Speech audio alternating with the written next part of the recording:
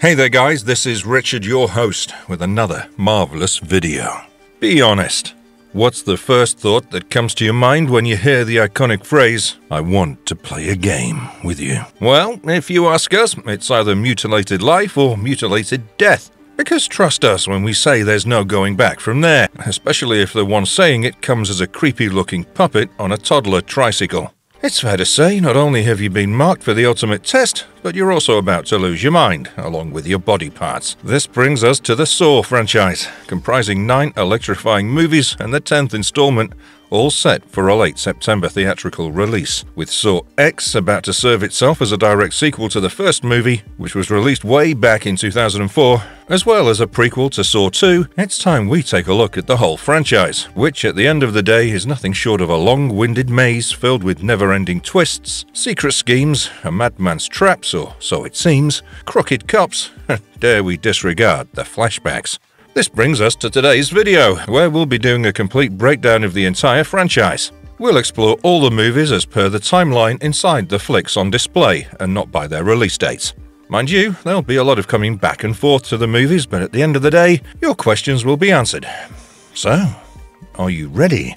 Let's take a look at the entire Saw timeline, one bloody moment at a time shall we? But before we get into our explanation, we do have a very small request. If you enjoy our content, then please support us by subscribing to our channel. This is a small click for you, but for us it means a lot. Thank you. Now, let's begin.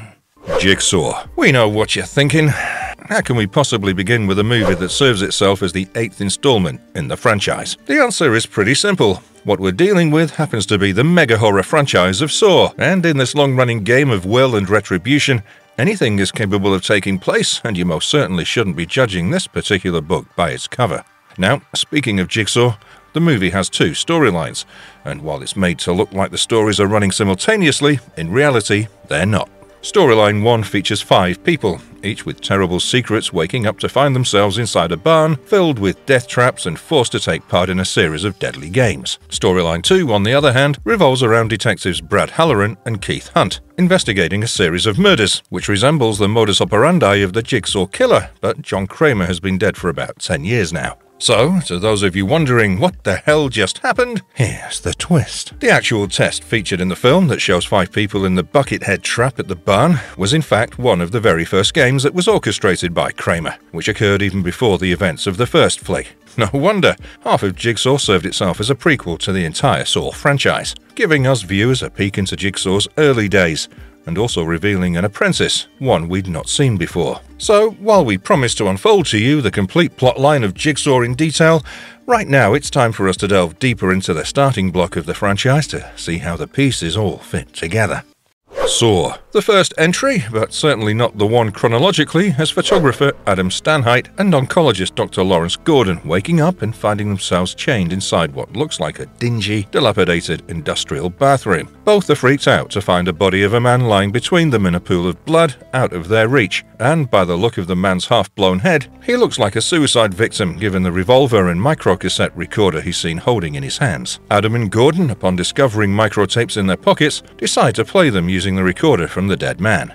Both tapes are by a similar man who's used a pitch modulator to have his voice distorted and to keep his identity as a secret. Adam's tape wants him to survive, while Gordon's tape tells him to kill Adam before the clock strikes six, or else his wife and daughter will die, and he'll be left to rot in the bathroom forever. With Adam discovering a bag inside the toilet tank containing two hacksaws, he and Gordon attempt to saw through their chains without success. It eventually dawns upon Gordon that the hacksaws are meant for their feet, thereby identifying their captor as Jigsaw, a notorious serial killer known for cutting out the skin of his victims in the shape of a jigsaw puzzle piece. The viewers are presented with a flashback, the first of many and two of Jigsaw's previous victims are shown. Both Paul and Adam had failed to survive their respective lethal traps or games as Jigsaw would address them, the razor wire maze and the flammable jelly, the result of which led to their imminent deaths. Detectives David Tapp, Steven Sing and Alison Kerry, while investigating the murders, had found a penlight belonging to Dr. Gordon at the crime scene, which led to Tapp and Sing reaching out to the Angel of Mercy Hospital in order to question interrogate Gordon. It's here where we first get to see John Kramer as a patient of Dr. Gordon. While Gordon's seen addressing Kramer as his patient and discussing about his terminal brain cancer with his medical students, an orderly named Zep walks in and tells Gordon that the patient has a name and that it's John. Coming back to the interrogation, Gordon's alibi checks out and he's asked to view the testimony of heroin addict Amanda Young, Jigsaw's only known survivor, who was left with no choice but to disembowel a man in order to get a key out of his stomach and free herself out of the reverse bear trap.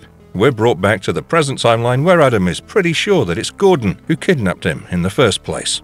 With Adam picking up a piece of glass that he'd broken earlier, he realizes it's a two way mirror, which he breaks and discovers a camera behind it. Of course, someone's watching the duo from a monitor, and it's through another flashback that we learn how Gordon's family got kidnapped in the first place. Gordon's daughter, Diana, was sure of someone being inside her closet, and her fears proved true after Gordon left the house, leading to her and her mother Allison being held as captives in their own home. The house is also at the same time being monitored by Detective Tapp from a house across the street, and it's through a different flashback that we learn how Tapp got discharged from the police force. Tapp's unhealthy obsession with the Jigsaw case had led him and his partner Sing to one of Jigsaw's lairs, where they not only encountered a victim of Jigsaw on a drill chair, but also the orchestrator himself.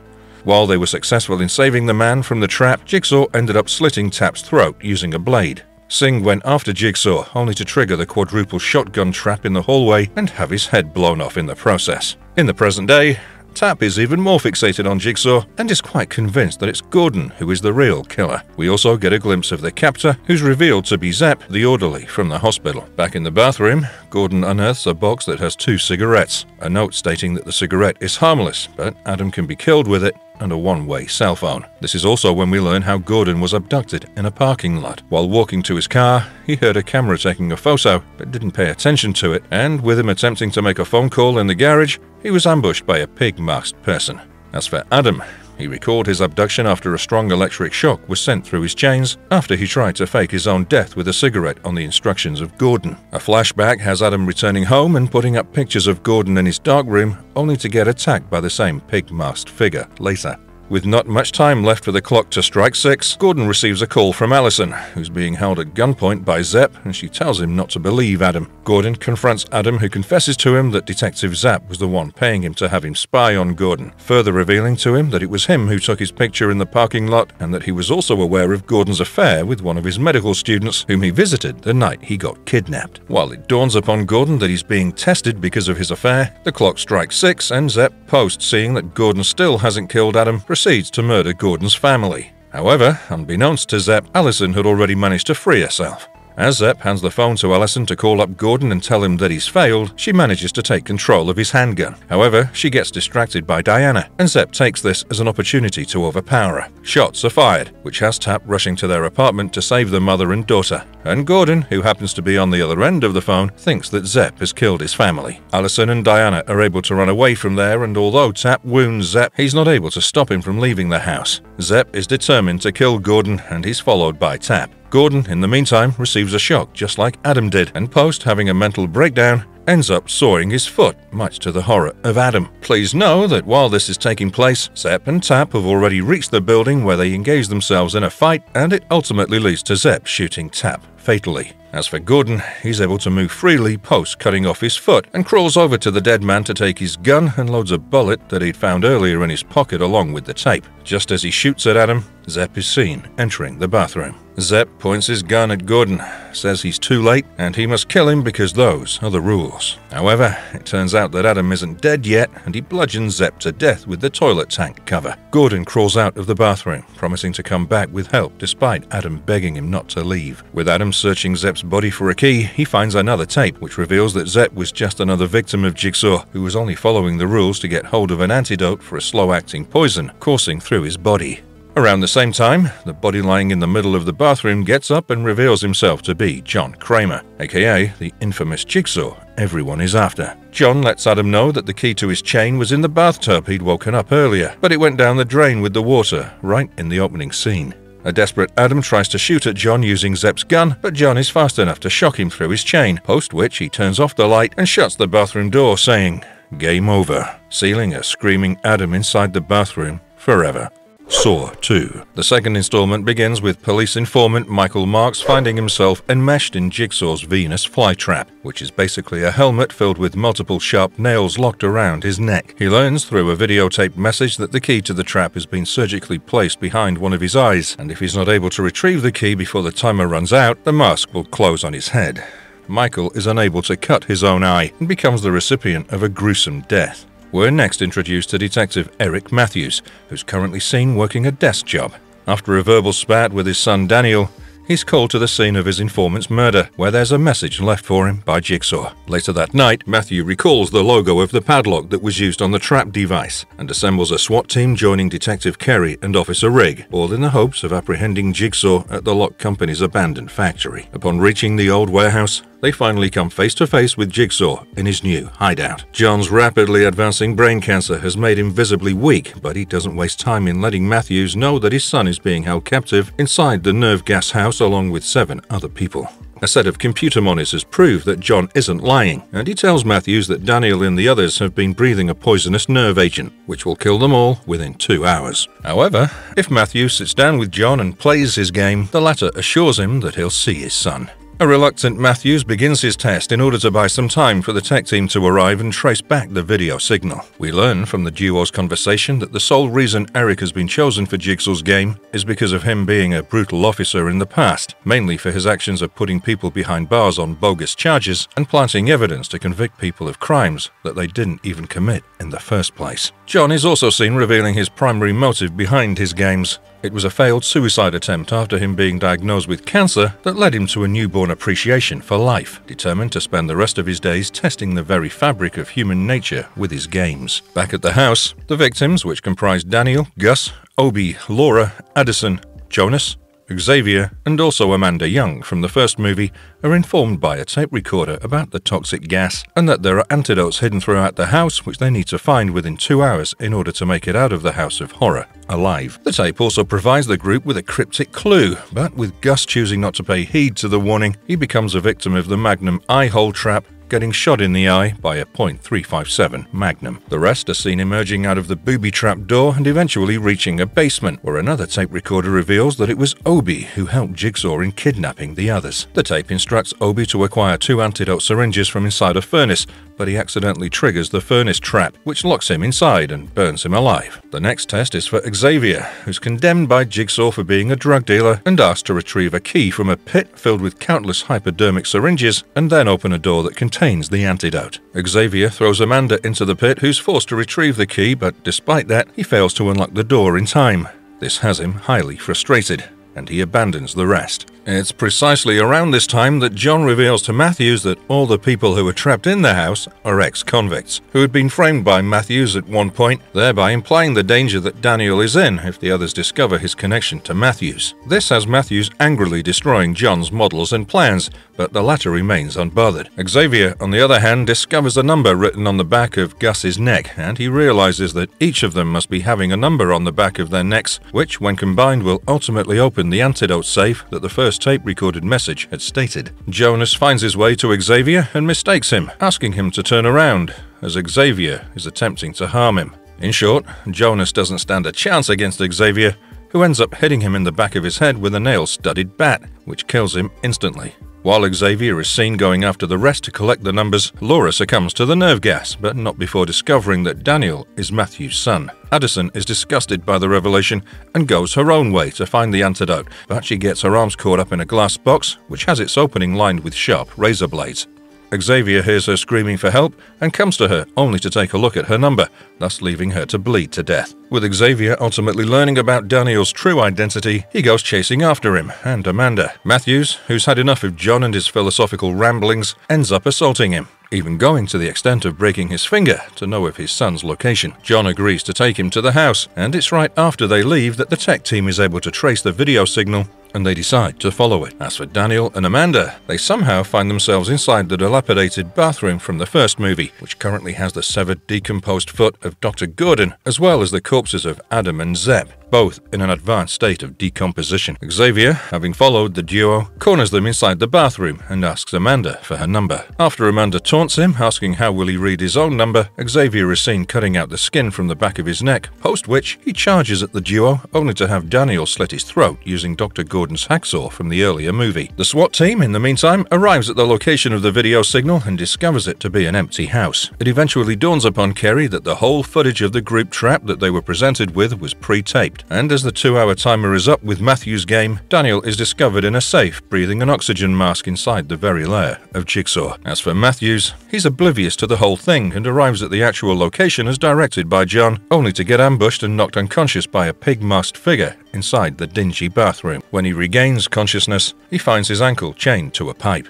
A tape recorder left beside him reveals Amanda as Jigsaw's accomplice, and we learn how she was framed by Matthews and sent to prison where she became addicted to heroin. The tape has Amanda addressing Matthews as her first victim, and having found a father, leader, and teacher in John Kramer. Of course, Amanda makes an appearance outside the bathroom door and says the iconic game over, after which she shuts the door and leaves Matthews to die inside. The movie ends with a badly bruised John smiling, satisfied that his master plan has worked. Saw 3, Saw 4. Call it wild, but the events of both Saw 3 and Saw 4 take place at the same time, a fact that is disclosed toward the end of the fourth movie. We'll begin with Saw 3 that's seen picking up right after the events of the previous movie. Detective Matthews manages to free himself by smashing and breaking his foot using a toilet lid and escapes the bathroom. Six months pass by and Officer Rigg and his team discover the crime scene of another jigsaw victim. A flashback reveals how the victim, Troy, a regular in terms of repeating prison sentences despite having a privileged upbringing, wakes up to find multiple chains attached to his body, which he has to rip off before the timer goes off. He's unable to do so and gets killed in an explosion caused by a nail bomb. Detective Kerry arrives at the scene and points out to Rigg and Detective Hoffman that Troy was never meant to escape the trap because the door to the room was welded shut, thus going against Jigsaw's methods of letting his victims have an opportunity to survive. That night, Kerry gets abducted from her apartment while watching the tape from Troy's game and finds herself in an inescapable jigsaw trap that has her ribcage torn out despite putting her hand inside an acid beaker and retrieving the key to the trap. We're next introduced to ER doctor Lynn Denlon, who gets kidnapped from the hospital by a pig-masked person. Lynn is strapped and wheeled into a room by Amanda, who brings her before John Kramer. John is on his deathbed and has an inoperable frontal lobe tumor. She's asked to keep him alive for the duration of another person completing Jigsaw's game and has a device locked around her neck that will fire five shotgun shells, blowing her head off if John dies or she attempts to escape. Speaking of the other test subject, Jeff is seen trapped inside a crate. He seems to be in an abandoned meatpacking plant, and as part of his task, he gets to decide whether or not he wants to forgive people involved in the death of his eight-year-old son, Dylan, who was run over by a car while playing at the park. Lynn is seen working on John, and upon seeing his condition, she tells Amanda that he needs to be in a hospital right away. Amanda grabs her by her neck and tells her that John isn't leaving the room.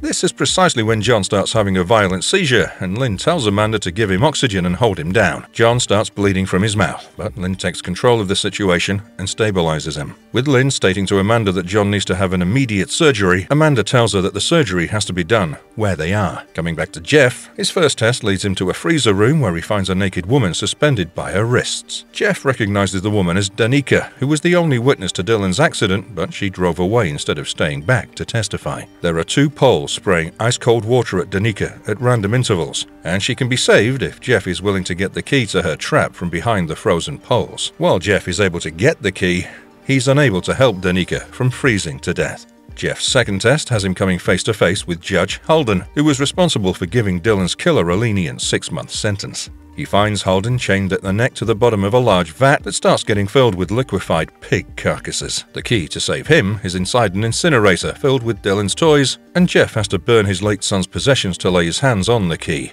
With Holden urging Jeff not to become a killer and convincing him to save him, Jeff burns the items, gets the key, and frees Holden at the 11th hour. As for Lynn, she's left with no choice but to perform a spontaneous surgery on John so as to relieve the pressure on his brain using the tools provided by Amanda. While the surgery is taking place, John has flashes of a woman, and mistaking Lynn for her, he grabs her by her arm and says that he loves her. Amanda walks in, and distressed by John's actions, she walks out of the room to cut herself. Yep, it's disclosed that Amanda resorts to self mutilation when she finds herself in stress. A flashback reveals how Amanda was the one to have kidnapped Adam from the first movie and had set up the bathroom trap. John had injected himself with something that slowed his heart rate and relaxed his muscles in order to play dead. Cut to the present, the surgery is a success. Amanda comes back to the room and hugs John. Lynn tells her that John can't hear her, which pisses her off to the extent that she attacks Lynn and even pulls out a gun. John tells her to put away the gun and leave the room.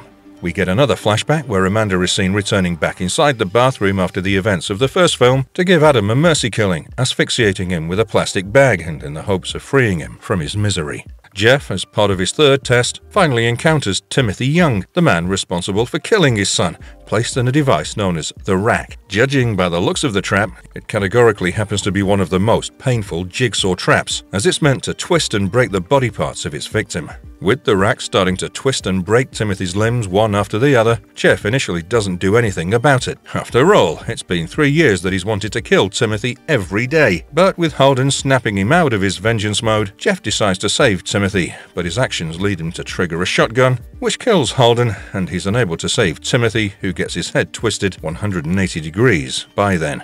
The scene shifts back to John and Lynn, and the latter is seen stating how she'd do anything to see her husband. With Lynn begging John to let her go, he holds her hand. Amanda sees this and goes out of the room to watch on the monitor how Jeff is doing. She also finds an envelope with her name on it, the contents of which distress her further. She comes back to the room and John tells her to let Lynn go, but she refuses to do so, citing that Lynn hasn't learned anything further, stating that she doesn't believe anybody changes after being tested. She starts yelling at John, and a flashback takes us back to the beginning of the movie, where Matthews is seen limping down the hallway after escaping from the bathroom. Amanda was attacked by Matthews, and after the duo fought briefly, she was able to incapacitate him and leave him there for dead. The present timeline shows Amanda still arguing with John. As for Jeff, he finds a door that leads him to the place where John, Amanda, and Lynn are only to find Amanda shooting Lynn. Lynn, who's disclosed to be the wife of Jeff, falls into his arms, and Jeff shoots Amanda out of rage in her neck. As Amanda falls on the ground succumbing to her wounds, John explains that this whole time it was Amanda who was being tested on her will to keep someone alive. John was aware of her motives, and how her traps weren't winnable, as was in the case of Troy and Kerry. Of course, he didn't want a murderer to carry on with his legacy, and therefore he'd chosen Amanda for the ultimate test of granting someone the gift of life, and she wasn't made aware of the fact that Lynn and Jeff were husband and wife. Jeff is next seen pointing his gun at John, who tells him that he still hasn't learned anything from his ordeal. John offers to save a dying Lynn, and Jeff only needs to forgive him for that. However, Jeff ends up slashing John's throat using a power saw and tells him that he forgave him. John, before dying, pulls out a tape recorder that addresses Jeff, stating him that he was his final test, and he has failed in that. The tape also informs Jeff that his daughter, Corbett, has also been captured and he has to undergo another test to know about her whereabouts. As the tape ends, Lynn's shotgun collar trap gets activated and her head explodes. Jeff finds himself sealed in the room with the dead bodies of John, Amanda, and his wife, Lynn. Saw 4 begins with John Kramer's autopsy, where a tape is found inside his stomach. Detective Mark Hoffman is called in to listen to the tape, which states Jigsaw's games have just begun. Well, it turns out right as the following sequence shifts to a mausoleum, where two men are found chained at the necks to a winch. While one of the victim Trevor's eyes are sewn shut, Art has his mouth sewn, making it impossible for them to communicate with each other. As the winch starts pulling them together, both start to panic, with Art ultimately bludgeoning Trevor with a hammer and getting a key from the back of his collar to set himself free. We next find the police discovering the body of Kerry, and Officer Rigg rushes to her hanging corpse. Detective Hoffman warns Rigg never to barge through an unsecured door, and is introduced to FBI agents Peter Strahm and Lindsay Perez, who are pretty sure there's an additional accomplice of Jigsaw, apart from Amanda, as Kerry weighed more than Amanda, and she possibly could not have set her up in the trap all by herself. Officer Rigg is later seen watching an interrogation video of Jill Tuck, who happens to be the same woman John had flashes of during his surgery, and she is also revealed to be John's ex-wife. That night, Rigg gets attacked at his apartment, and Hoffman disappears as well. Rigg, upon waking up, finds a videotape that lets him know that Matthews is still alive, and Hoffman's life is at risk too, and that he has 90 minutes to save his colleagues. As part of his first test, he finds a woman named Brenda placed in a hair trap, and through another videotape, he learns that she's a criminal and is instructed to walk away. As the trap gets activated and starts pulling Brenda's hair back to an extent that it begins to tear her scalp, Rigg's natural instinct to help people in need leads him to get her out of it. However, when he frees her, Brenda attacks him with a knife. Rigg is able to overpower her by throwing her into a mirror. Rigg finds a tape in Brenda's hand and learns that she was told to kill the officer that came to save her to avoid getting arrested. Rigg also finds two keys, one of which is a hotel room key, and leaves from there. A flashback of Matthews lets us know what happened to him after his fight with Amanda. Someone had dragged him into a room and locked him in for six months, providing him with food. Little did Matthews know that he was only getting prepped for his final test, and that brings us to his current location where he's seen standing on a block of ice with a noose cinched around his neck. Hoffman is right next to him, strapped into a chair, and there's an electrode by his feet. Both are seen at two different ends of a balanced scale, and it becomes evident that if Matthews slips off the ice, he'll be hanged and Hoffman will end up getting electrocuted. They're also observed by a man in the same room, who isn't disclosed to us at the moment. Coming back to Agent Strahm and Perez, they're informed about a few gunshots heard at Rigg's apartment, and they break into his place only to find him long gone and Brenda lying dead, probably from blood loss. Scanning through the pictures found at the apartment, they start thinking that Rigg is the new killer, but upon finding a picture of Jill Tuck there, they realize they're missing out on something. Rigg is seen arriving at the motel and walking into a room using the key he'd gotten as a clue earlier.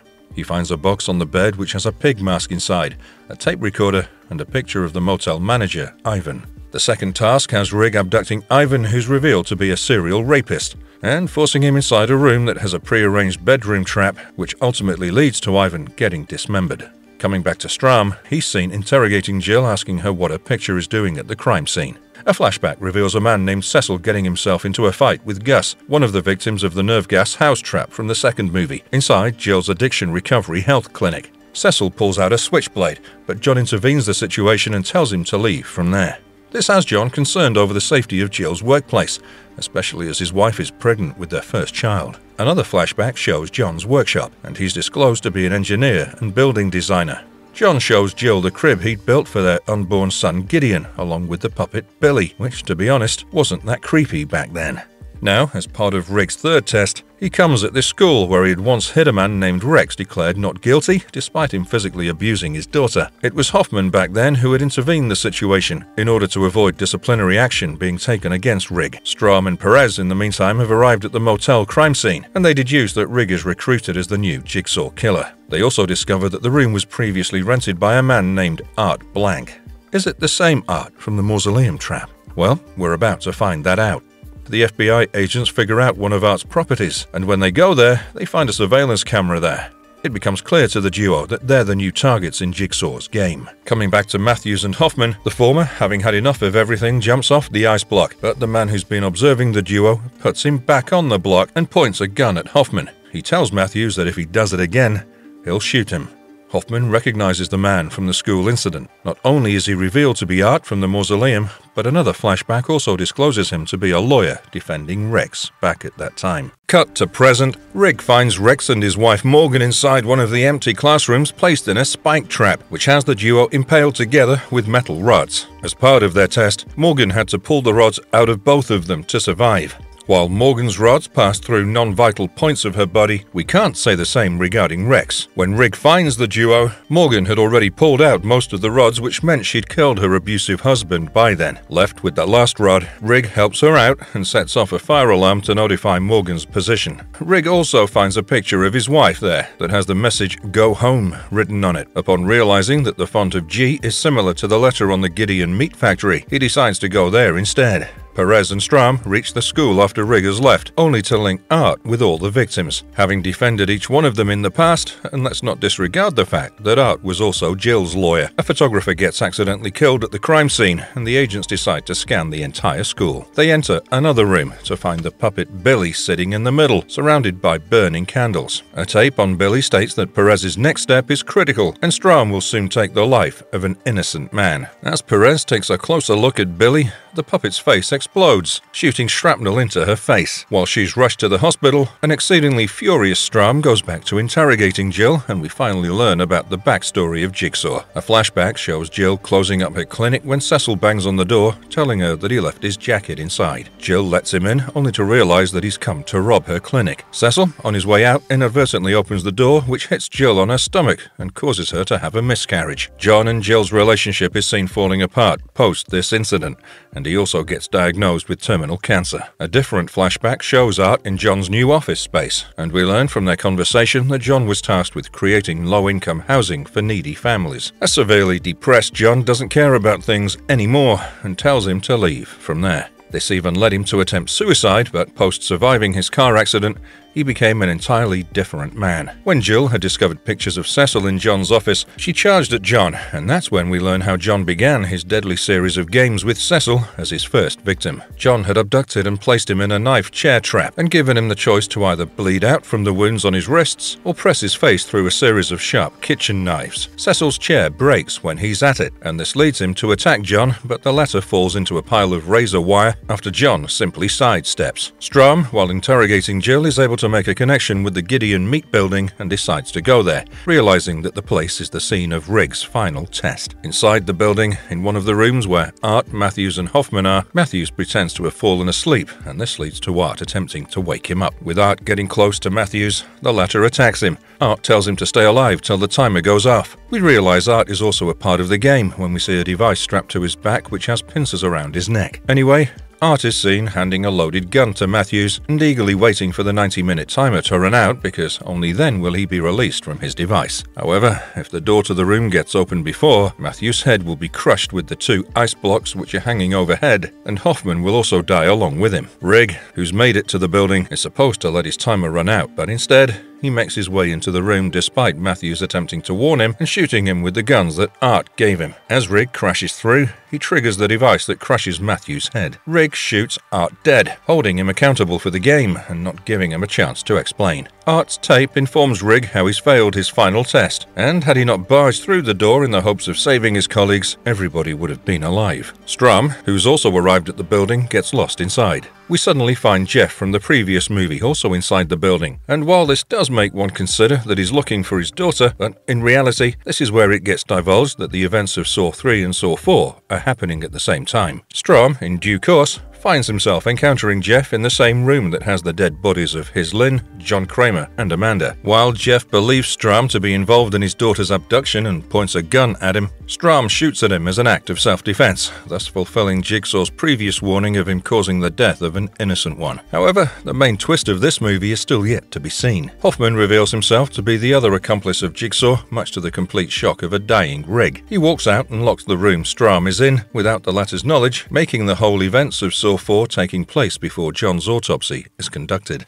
Saw 5. Convicted murderer Seth Baxter finds himself bisected by a swinging pendulum blade when he finds his trap rigged to be inescapable. As he dies, someone is seen watching him getting sliced from a peephole. Next, we find Agent Strahm escaping the room he was locked in upon discovering a hidden door. A tape addressed to him tells him to stay where he is, but Strahm disregards the warning and walks down the hallway only to get attacked by a pig-masked figure, who, in all probability, happens to be Hoffman. Strahm next finds his head in the water cube trap, which is basically a sealed glass cube around his head that starts getting filled with water. While the trap wasn't meant to be escapable, Strahm is able to survive by performing a tracheotomy with the help of a pen. The police are seen arriving at the Gideon Gideon Meat Factory, where Hoffman is seen coming out of the building carrying Jeff's daughter, Corbett. He says nobody survived inside, only to find Strahm being carried out on a stretcher, still alive. After the death of John, Jill receives a box from John's lawyer that John had left for her. A videotape of John reveals to Jill that the contents of the box are of great significance, and she's seen using a key necklace to open it. Hoffman, on the other hand, gets awarded and promoted for his work on the Jigsaw case, post which he's seen going back to his office to find a note that warns, I know who you are. This has him distressed, and he's seen later visiting the hospital where we find Strahm sitting next to an empty bed, mourning over the loss of Agent Perez. Strahm already looks suspicious of Hoffman and asks him how did he manage to get out of the building without a scratch, further telling him that Perez's last word was Hoffman. Hoffman does his best to remain calm in front of Strahm and leaves from there. Strahm is paid a visit by his boss, Agent Dan Erickson, who takes him off the jigsaw case. As for Hoffman, he's seen entering a dark room that has a model setup of a new game along with a bunch of monitors, having on display five unconscious people. The new victims are Ashley, Charles, Luba, Malik, and Britt, who find themselves waking up in a sewer. A videotape featuring Billy informs them that all of them are connected to each other in a way, and so are their neck collars to cables that will pull them back and decapitate them if they're not able to free themselves within the given time limit. Billy also leaves them a hint telling them that while their lifelong instincts will tell them to do one thing, they should be doing the opposite. Ashley, who's revealed to be a former fire inspector having lost her job post faking an accident report to cover up a case of arson, is unable to free herself and gets beheaded. Strahm, in spite of being on medical leave and, more importantly, removed from the jigsaw case, heads over to the FBI headquarters where he finds a file on Seth Baxter, who's revealed to be the murderer of Hoffman's only family member, his sister, Angelina. Strahm gets confronted by Erickson on his way out, but he lies to him, telling him that he was just picking up some stuff. Strahm is next seen going to Seth's murder scene. After thoroughly reading up on the case and learning that Seth was released on a technicality, serving a bare minimum of only five years in prison, he comes to the conclusion that it was Hoffman who killed Seth and then made it look like a jigsaw trap. Back in the sewer, the remaining group make it to another room where we learn more about them. Luba is a city planner who granted building permits in exchange for bribes. Britt is the vice president of a real estate company, and in short, all of them were involved in a building fire that took the lives of eight people. The group's second test has them acquiring keys to bomb shelters before the timer expires, and with Charles unable to land himself a key, he gets killed in a nail bomb explosion. Coming back to Strahm, he's seen carrying on with his research and thoroughly going through the case files of the past jigsaw victims. A flashback reveals how it was actually Hoffman who was looking through the peephole when Seth was getting sliced by the pendulum trap. John is able to figure it out and has Hoffman abducted and reprimanded for not even giving Seth a chance to survive his trap. Eventually, John plays a mind game with Hoffman,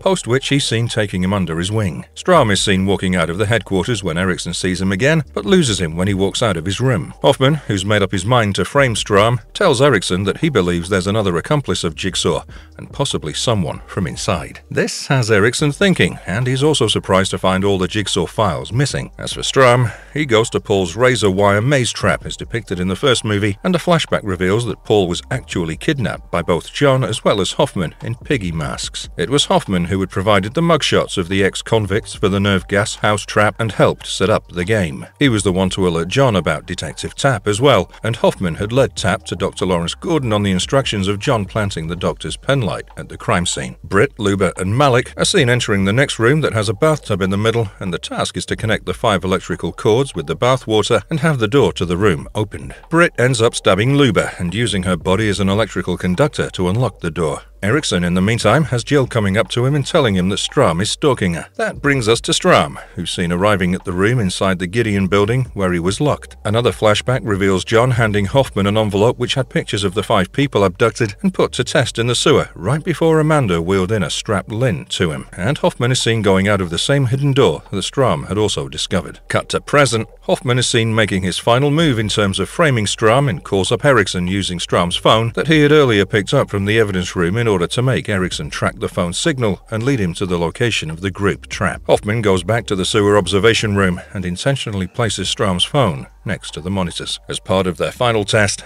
Britt and Malik have to give 10 pints of their blood to open the final door. Both ultimately realize that all five of them were supposed to work together as a team, and by doing that, they would have all won and survived at the end of the day. Realizing the blunder they've made, they decide to saw their arms and give enough blood to open the exit door. Erickson reaches the sewer observation room post following Strahm's phone signal and finds his phone along with his own personnel file, both intentionally kept there by Hoffman. As for Strahm, he's seen going after Hoffman inside a building which actually happens to be the refurbished nerve gas house. In one of the rooms, Strahm comes across a transparent box filled with broken glass and a tape recorder. The tape suggests Strahm to get inside the box if he plans to live, but knowing Strahm, he doesn't do that. Instead, he has Hoffman inside the box and shuts it. Erickson is able to locate both Britt and Malik and calls for medical attention while also putting an APB on Strahm, convinced that Strahm is the new jigsaw killer. Coming back to Hoffman and Strahm, the door to their room gets shut, and Hoffman signals Strahm to play the rest of the tape, which states that if Strahm doesn't get inside the transparent box, he'll die in the room. Soon, the walls to the room start closing in, and the transparent box starts moving down into the floor. Strahm tries his best to break into the glass box. He even shoots at it, but nothing happens. Strahm runs out of time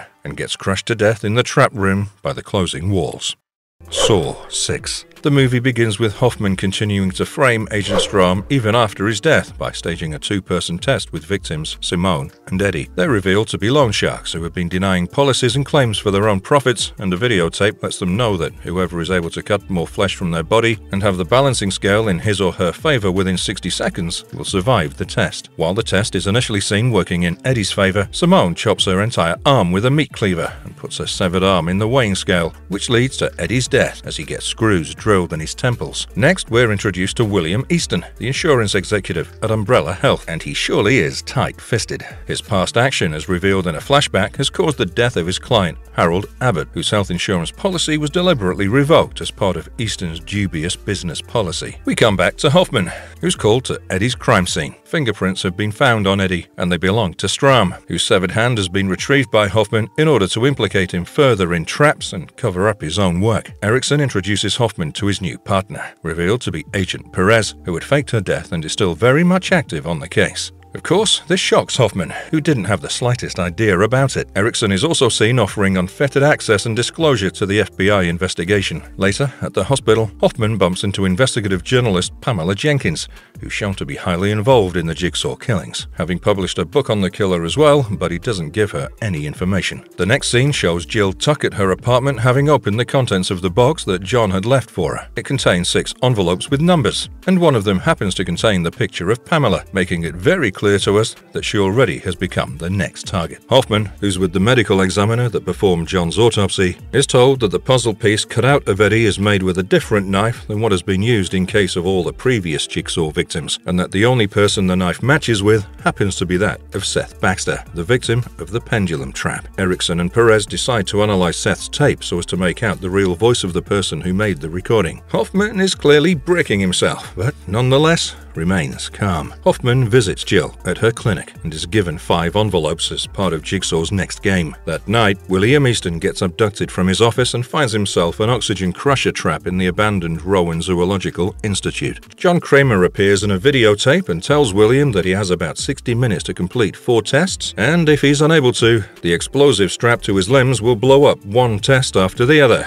and he'll never get to see his family. As part of William's first test, he's made to compete with his office janitor, who's also in a similar trap like William. They have to hold their breaths, and whoever breathes will have the vice-like machine crushing their ribcage. The janitor isn't able to hold his breath, and he gets horribly killed. This releases William, and he's able to unlock the bomb shackle on his wrist. In a different room, a mother and son are seen waking up to find themselves trapped. There's a container of hydrofluoric acid connected to sprinklers, a lever switch that says live or die, and a timer, but there's no message or any tape for them. Pamela is seen trapped in a room across from the mother and son, and we learn through a flashback that she got abducted after a brief meeting with Jill at the latter's apartment. As part of William's next test, he goes into a room where he's asked to grab two handles. He finds his young file clerk and elderly secretary both hanging from a barbed wire noose, and he's asked to choose to save either of them.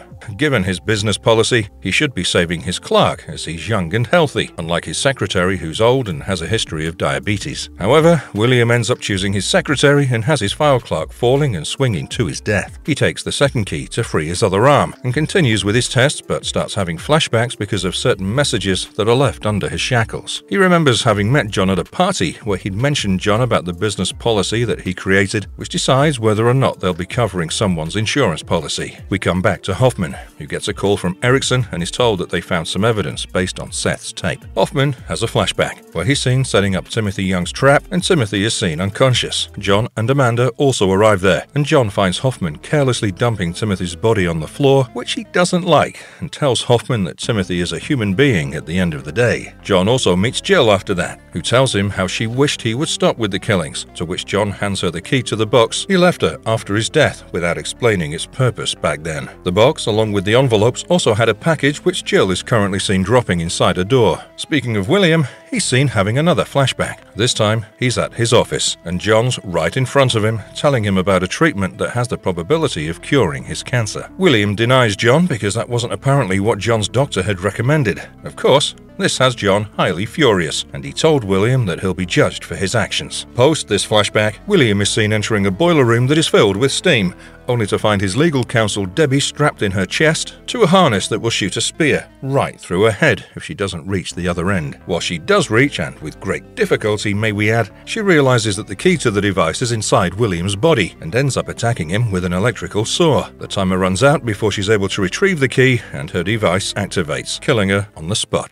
Hoffman arrives at the audio lab with Erickson and Perez. It's already been disclosed that the voice of Seth Baxter's tape didn't match with John. The sound technician is currently descrambling the tape to figure out whose voice it is. Jill, on the other hand, is seen with the sixth envelope that John had left in the box and leaving in a car somewhere. As for William, he's seen entering his last trap, only to find six of his junior associates, collectively known as the Dog Pit, placed in the shotgun carousel trap, and he learns he can save two of them, only if he's ready to press a button twice that will drive a spike through his hand. William saves two women from the rotating roundabout and lays his hand on the final key to remove his last bomb shackle. We go back to the audio lab where Erickson and Strahm are able to figure out that it is Hoffman's voice, only to get brutally killed by him. Hoffman doesn't want to take any chances and also sets the whole lab on fire after leaving Strahm's fingerprints everywhere at the crime scene. Hoffman comes back to the observation room where he's been watching William's test to find a letter that Jill had earlier kept on the table for him. This note is revealed to be the same letter that Amanda had read and found very distressing as seen in Saw 3, and is finally disclosed to us that Amanda knew Cecil and was with him the night he robbed the clinic. It was basically Amanda who had encouraged Cecil to go to the clinic, which meant she was partially responsible for the death of John and Jill's unborn child. A fact John was not aware of, but Hoffman did. Amanda found the letter very distressing because it told her to kill Dr. Lynn or Hoffman would end up telling John about her involvement in Jill's miscarriage. Now you know what actually led Amanda to kill Lynn in the first place. She never wanted to, but she didn't have a choice either. Jill is seen entering the observation room where Hoffman is and sending a shock through Hoffman's chair. As this is happening, William gets to the final door before the timer comes to an end and finds himself in between the rooms of the mother son duo and Pamela. William runs to Pamela, who's revealed to be his sister. As for the mother and son, they're clearly not happy to see William, and it turns out that they're basically the wife and son of the deceased Harold Abbott, and now they have the option to take revenge on Harold's murderer. While the mother isn't able to activate the die switch, the son does it willingly, which results in a wall of needles swinging down into William's room and injecting him with the hydrofluoric acid from the vat. As William gets melted in half, we find Jill strapping Hoffman to his chair and taking out the last item from John's box the reverse bear trap. She puts it on Hoffman's head, thereby revealing that John's sixth target was none other than Hoffman. Seen setting the timer and leaving Hoffman with no means to remove the trap. But Hoffman is able to get out of the chair and his wrist restraints, and right before it activates, he slams the headset through a small window in the door to get the trap partially opened. He manages to force his head out of the headset and injures quite a bit of his cheek in the process. A post-credit scene shows Amanda going to the room where Jeff's daughter Corbett's locked in and telling her through the door hole not to trust the man who saves her. Saw 3D. This movie begins where the first Saw film left off. Dr. Gordon is seen dragging himself through the halls after crawling out of the bathroom, where he comes across a hot steam pipe to mitigate the bleeding of his leg wound. The next scene shows victims Brad, Dina, and Ryan in a public execution trap that ends with Brad and Ryan sacrificing their cheating girlfriend Dina, who's suspended above them to the center saw wheel, which bisects her. We come back to Jill, who's a witness to Hoffman escaping from his trap. Realizing that her life is in danger now, Jill seeks help from internal affairs detective Matt Gibson, and she offers to turn over evidence of Hoffman, revealing him to be Jigsaw's accomplice, in exchange for protection. Hoffman, in the meantime, gears himself up for staging more traps. He begins with a group of racists and places them in the grisly garage trap, which brutally kills them all. We're next introduced to Bobby Dagen, who achieved fame and fortune pretending to be a Jigsaw survivor and had also written a self-help book. At one of his meetings with the real Jigsaw survivors, we see Simone and William Easton's secretary Addie from Saw 6, Malik from Saw 5, and surprisingly Dr. Gordon amongst the known faces. Gordon sarcastically calls the whole thing a marketing gimmick and walks away. That evening, Bobby gets abducted after the gathering and finds himself waking up in a cage where he's informed by Billy on a television screen to do the jigsaw dance for real within a stipulated time if he wishes to see his wife Joyce alive. As part of Bobby's first test, his cage gets suspended and he's supposed to swing himself far enough from a series of spikes that are placed below his cage on the floor. He's successful in swinging his way out of the cage. A flash flashback reveals how Bobby had gotten the idea to fake his survival story. Detective Gibson is seen visiting Jill at a safe house after finding his name on a mirror left at the garage trap along with the reverse bear trap. He's convinced that Jill had previously tried to kill Hoffman with the reverse bear trap and urges Jill to stay at the safe house, believing that Hoffman wouldn't be able to locate her there. But it's Hoffman we're talking about. He sends a video footage to them and demands for Jill after creating a huge explosion at the site of the garage trap. Coming back to Bobby, he finds his publicist Nina with a fishhook jammed down her throat and tied up in a contraption. He has 60 seconds to pull the hook up out of her stomach, but Nina has to stay quiet despite how painful it might be. In short, she dies, and Bobby goes to the next room where he finds one of his signed books. A flashback reveals a book signing event that had Bobby signing the book for John, who takes the book but leaves behind its outer cover. Cut to present, Bobby realizes that he'd actually signed his book to Jigsaw. Anyway, he next finds his lawyer Suzanne placed inside a steel frame that has three spikes that will impale her through the eyes and mouth if Bobby is unable to lift and hold the given amount of weight. No points for guessing, he's unable to do so, which leads to her death. As part of Bobby's next test, he finds his best friend Cale blindfolded and with a noose attached to a winch. The task requires Cale to make it to the other part of the room that has only a few loose planks as support beams. Also, the key to free Cale hangs in the middle of the room. Bobby, despite trying his best to help Cale out and even throwing the key to him, is unable to save his best friend when the latter misses catching it and he gets hung in the process. It becomes clear that Nina, Suzanne, and Cale knew about Bobby's lies and they were chosen to aid him in fabricating his story. Gibson, in the meantime, is able to figure out where the game is being played through the clues left by Hoffman. He goes to the garage trap where his name was written and finds a hidden door. He walks into a room along with a few officers and find a hooded someone sitting in a chair and observing Bobby's game. The hooded man is revealed to be Dan from the garage trap or whatever's left of him. Bobby's able to see through Hoffman's ruse, and a flashback discloses how Hoffman had caused the explosion only to switch Dan's body with his in the body bag to get easy access to the police station and that he'd been watching their actions the whole time. However, before Gibson is able to alert the police station, a remote controlled machine gun pops up and kills them all.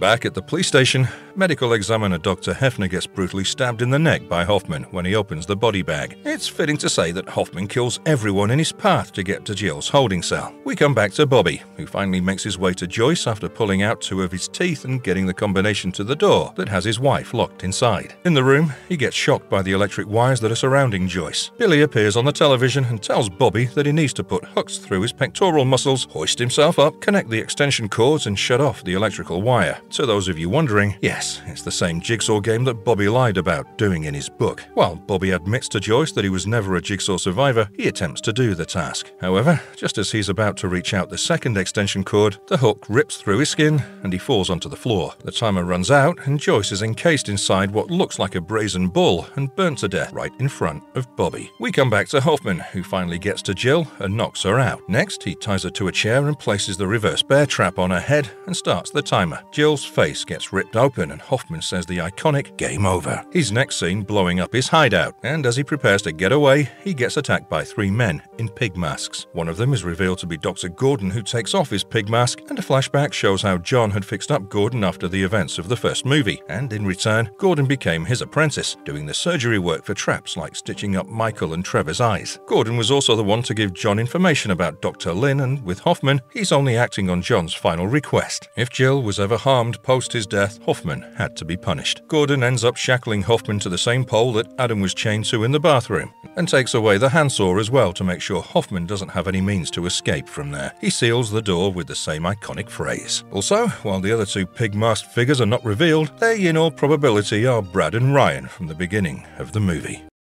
The other half of Jigsaw. We know we've brushed upon the events of Jigsaw when we started explaining the Saw timeline, but here's where we'll make things come to a full circle. Criminal Edgar Munson is chased by the police, and he runs to the rooftop of a warehouse and picks up a remote placed behind a steel bar. The cops surround Edgar, and he asks for Detective Brad Halloran, who arrives there along with his partner, Keith Hunt. Edgar tells Halloran that he has to decide who will die, and Halloran tells his officers to only shoot at the remote in Edgar's hand. Edgar states that the game is about to start and pulls the trigger, which starts a timer somewhere else, but he gets shot in the chest by someone, much against the order of Halloran. A severely wounded Edgar states that the game has already begun. The next sequence shows five people, Carly, Ryan, Mitch, Anna, and an unknown person chained to a wall of buzzsaws at a barn with metal buckets on their heads. A recording of Jigsaw lets them know the rules of the game. In order to survive, they have to offer blood. Soon, the chains begin to pull the group towards the wall, and everybody starts panicking. Anna intentionally lets her arm be cut by the blades and gets freed. She suggests the rest to follow her suit. Ryan, Mitch, and Carly are seen making out of the trap alive. The fifth person, however, realizes too late what to do and appears to die in the process. The corpse of a man with a bucket over his head is discovered hanging from a bridge and is brought to forensic pathologist Logan Nelson and his assistant Eleanor Bonneville for autopsy. Halloran is also there observing the autopsy, and after the metal bucket is removed, the head is disclosed to be severed in half, presumably by the buzzsaw. The victim's neck has a jigsaw puzzle piece mark, and a flash drive is pulled out of the neck which states that the games have begun again and that only four are remaining. We go back to the barn where Anna, Mitch, Ryan, and Carly still find themselves in chains. Billy arrives on a bicycle with a sign attached to it that says, Confess. The chains start pulling them, and Anna tells everyone to confess. Mitch reveals he sold a bike to a kid who later died in an accident, and Anna reveals she'd lost her baby and messed up her marriage. The chains don't stop pulling them until Mitch sees a voice recorder attached to Billy and pulls it. The audio recording informs one of them is the thief who's been injected with poison. There are three needles before them. One has an antidote to the poison, one has saline, and the other has acid. The group has to quickly make the choice of injecting the needle, and their inability to make the choice will lead to their deaths. Carly turns out to be the purse snatcher and had accidentally caused the death of a woman who suffered from asthma, but she refuses to make a choice. This has the chains pulling all of them upward, which in turn starts choking them. Ryan, who had grabbed all the needles by then, is forced to inject them all into Carly's neck. While his actions release them all from their chains, Carly dies a painful and bloody death having had acid injected into her. Using the number on the needles, the trio is able to open a door that leads them to another room that has a no exit sign written on another door. Another body is discovered outside a hospital, this time the corpse of a woman whose face is in a complete mess due to acid. Logan and Eleanor, while performing an autopsy, discover another jigsaw mark. Halloran, who is also present there, starts suspecting Logan and tells Hunt about it. We go back to the remaining trio in the barn, and Ryan is seen attempting to walk out the door that has the no exit sign, only to fall and get his foot entangled in a set of razor sharp wires, which start tightening their grip and tearing into his flesh. Anna and Mitch attempt to help Ryan out, but they get trapped inside a silo,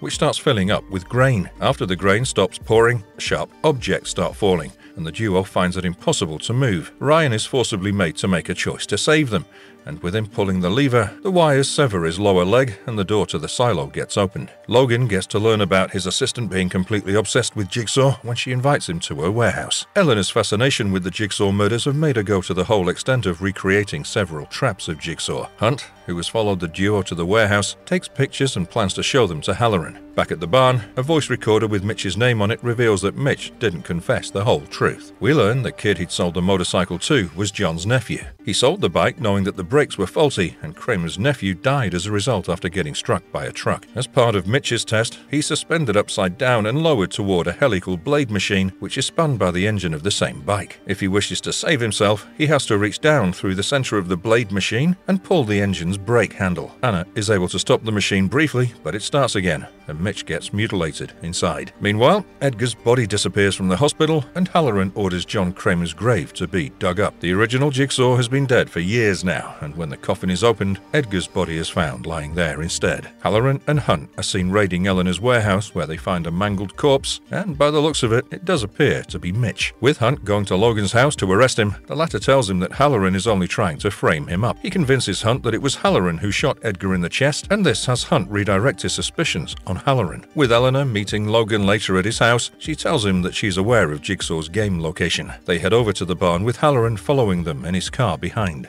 We go back to Anna and Ryan, who currently find themselves chained to pipes at opposite sides of a room. A man in a pig mask reveals himself as John Kramer, and he's seen setting up the game. John narrates them their sins, and we learn Ryan's reckless behavior in the past has caused the death of his friends, and that it was Anna, or John's neighbor to be more precise, who had suffocated her baby to death and framed her husband instead, leading him to commit suicide later out of guilt. Loading a shotgun with one shell, John lets the duo know that the key to survival lies in the middle of the room and leaves them in the room. Anna, believing that John wants her to kill Ryan, rushes to get the shotgun, but when she shoots, the gun backfires, killing her. Ryan realizes the key to their chains were kept inside the shell by John, which is now destroyed thanks to Anna acting selfish and pulling the trigger. Logan and Eleanor, while exploring the barn warehouse encounter Halloran. Eleanor is able to escape from there. As for Logan and Halloran, they're knocked out and placed in neck collars. A recording reveals that they're the last two players of the game. Both are asked to confess their sins or else their neck collars, which are rigged to fire laser cutters at their heads, will kill them. There are buttons in front of them that they need to press. Halloran presses the button of Logan, activating the laser cutters around him. This has Logan admitting his sin, and we learn how Logan was a doctor who mixed up John Kramer's x-ray reports with another patient, leading to John getting diagnosed a little too late. But despite Logan's confession, the laser cutters appear to kill Logan and he falls on the floor. Post this, it's Halloran's turn, and once his lasers get activated, he admits to letting innocent people die and criminals walk free. Logan is seen getting up right after this and taking off the neck collar, post which he reveals to Halloran that he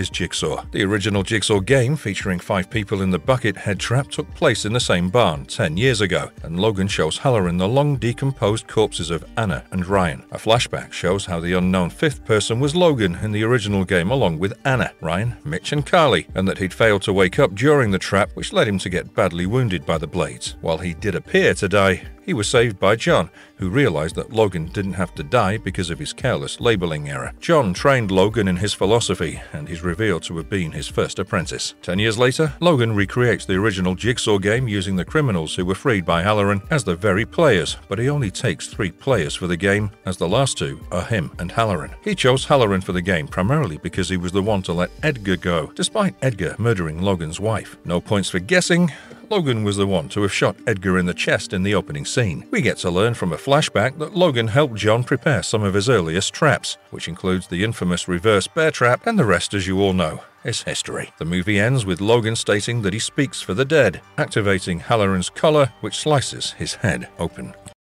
Spiral. Homicide detective Marv Bozwick goes after a mugger into a subway tunnel while the 4th of July celebrations are taking place, only to get knocked out and placed into a trap by a pig masked figure. When Bozwick wakes up, he finds himself in a subway trap where he's literally suspended by his tongue. A recorded message left for Bozwick tells him that he can either sever his tongue and live, or he can just wait for the next train to run him over. Bozwick is unable to escape, and he gets hit by the approaching train. We're introduced to Detective Zeke Banks of the South Metro Precinct Homicide Division, who's assigned the newly joined William Schenk as his partner by Police Captain Angie Garza. Banks, while investigating Bozwick's death, realizes that the trap is similar to the methods of the deceased Jigsaw killer. In the meantime, another homicide detective named Fitch, while pursuing a lead in the investigation of Bozwick's murder, gets abducted and placed in a trap, where he has to make the choice of either having his fingers ripped off or get electrocuted in a bath of water. We learn through a footage provided by the killer that Fitch in the past had shot dead an innocent driver. Of course, his actions were covered up, and a different flashback shows how he deliberately not responded to Banks's backup call for help 12 years ago, leading Banks to get shot. Fitch fails to escape and dies, and given Banks's history with Fitch, some officers start suspecting Banks behind his death. Moving on with the storyline, a box arrives for Banks at the station, which contains a piece of Schenk's tattooed skin and a small vial, which ultimately leads the police to a butcher shop. The place was more like a hobby shop before that Banks used to visit with his father, the former chief of police. Arriving at the butcher shop, a skinned corpse is found hanging, and a tape reveals it to be Schenk. With bodies being discovered one after the other, Banks's father Marcus makes up his mind to track down the killer himself, only to end up getting abducted as well. Angie is the next one to get lured by the killer and finds herself in a trap in the cold case evidence room located in the precinct basement. Her trap requires her to sever her spinal cord on a blade so as to stop hot wax flowing from a pipe right onto her face. Banks is too late to realize that Angie is the new target, and when he manages to reach her, she's already died of her injuries. While pursuing a lead, Banks gets kidnapped and wakes up to find himself at a warehouse handcuffed to a pipe. There's a hacksaw lying near him, and he tries sawing the chains, but he's not able to. Banks briefly considers sawing his arm, but upon finding a bobby pin lying there, he's able to escape the handcuffs. As he wanders around the warehouse, he finds his former partner, Peter Dunleavy, chained and suspended from the ceiling. A flashback reveals how Dunleavy had killed a witness who was supposed to testify against a corrupt officer. He'd also planted a weapon on the innocent man, but somehow Banks remained suspicious of his partner, and with him reporting about him, Dunleavy wasn't only fired from the department, but also imprisoned. Please know that this was the incident that led to Banks becoming a pariah within the department for ratting on a fellow cop. Anyway, we come back to the present and find a huge glass grinder machine in front of Dunleavy that's been designed to throw multiple glass shards at him at a very high speed. A tape recorder reveals that it's up to Banks to decide whether he wants to save him or leave him to his death. Banks is unable to free Dunleavy, who succumbs to his wounds. The detective is ultimately drawn to the final trap where he's stunned to find Schenk still alive. Schenk lets Bank know his real identity. He says his actual name is William Emerson,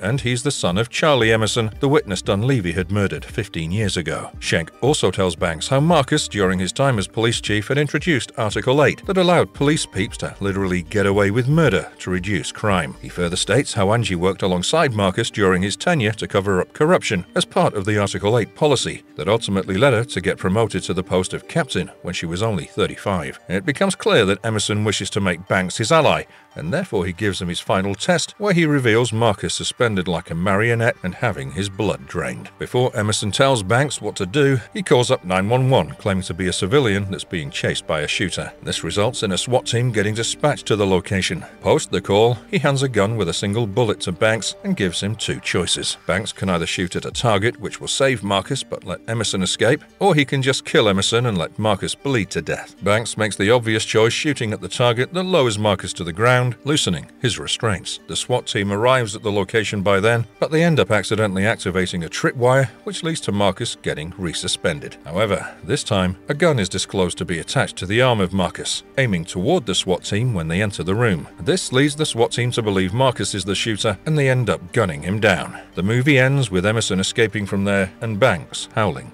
in despair. The upcoming movie, Saw X. Kevin Greutert's Saw X is all set for a September 29th release, and here's everything we know about the next entry, which is set between the events of Saw and Saw 2. For starters, we have both Tobin Bell and Shawnee Smith reprising their roles as John Kramer, Jigsaw, and Amanda Young, and fans of this horror film series couldn't be happier. New to the list are Norwegian actress Synnøve Macody Lund, Scottish actor Steven Brand, and our beloved Michael Beach, amongst others. The storyline, as made out from the trailer, shows John traveling to Mexico to undergo an experimental medical procedure, hoping that it would cure him of cancer. But he eventually realizes that the whole operation is nothing but a scam, singling out the vulnerable. Of course, John has to take things into his own hands now, and he takes everyone involved in the fraudulent scheme, one after the other, through his infamous traps. Add to this some brand new, never seen before traps as well. Marvelous verdict. Well, that's all for today, and with this, we finally come to the end of our video here. Hope this helps and answers every question you've had so far about the entire Saw timeline. So, how excited are you about Saw X? And what's your favourite movie in the franchise? Also, who happens to be your favourite Jigsaw accomplice? We'd love to know your thoughts in the comments section down below. Now, if you enjoy this video, then please do leave a thumbs up. Also, stay tuned with us as we promise to come back with more exciting content. Till then, Goodbye and thanks for watching. Have a nice one.